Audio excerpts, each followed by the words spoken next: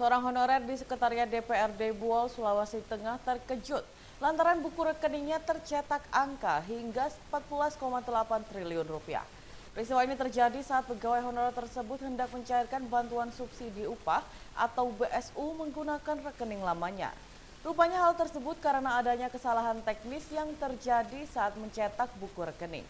Peristiwa ini dialami oleh pegawai honorer berinisial NS seusai melakukan aktivasi rekening lamanya yang sudah lama tidak terpakai.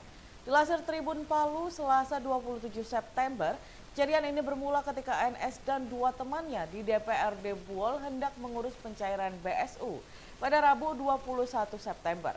Untuk diketahui, rekening milik NS dibuat pada 2018 dan terakhir digunakan pada 2020 lalu. Lantaran sudah lama tidak digunakan, NS harus menyetor sebesar Rp100.000 untuk aktivasi. Saat menerima buku tabungannya, NS merasa terkejut dengan angka yang tercetak karena jumlahnya begitu fantastis. Peristiwa ini kemudian diceritakan NS kepada teman-teman dan suaminya. NS dan suaminya sempat berencana pergi ke bank untuk mengonfirmasi. Namun lantaran kesibukan, maka hal itu tertunda.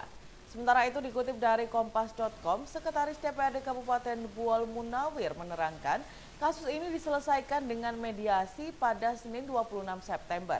Pihak bank mengakui ada kesalahan teknis yang terjadi dan menyampaikan permintaan maaf. Kesalahan teknis terdapat pada perangkat printer komputer saat mencetak buku rekening NS. NS sempat melaporkan peristiwa ini ke polisi karena ketakutan dengan saldo yang tidak wajar.